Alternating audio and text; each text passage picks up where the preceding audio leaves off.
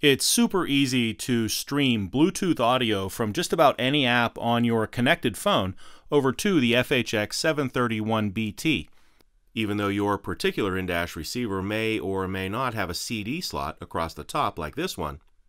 The on-screen and button operation is identical for the following Pioneer models. FHX 730BS, FHX 731BT, FHX 830 BHS, and MVHX 690 BS.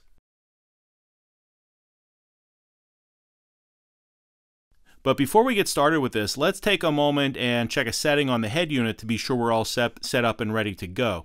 Uh, the first thing is I want to make sure that my phone is connected through Bluetooth and I can see the Bluetooth logos on the screen here and if I touch my telephone button I can see that the Nexus 5 is connected. That's this phone here.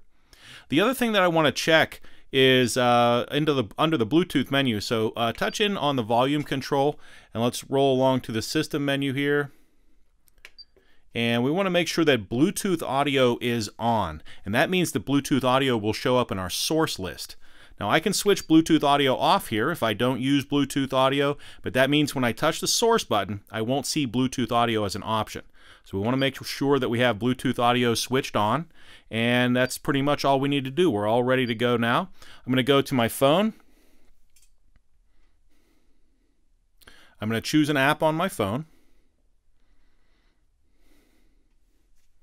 And I'm going to switch to the Bluetooth audio source.